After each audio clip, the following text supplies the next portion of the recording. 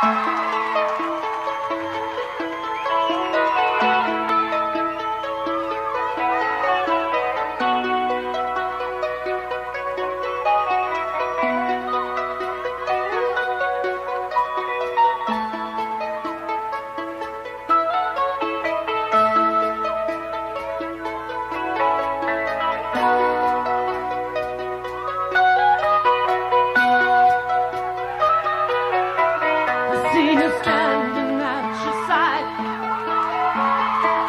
answer.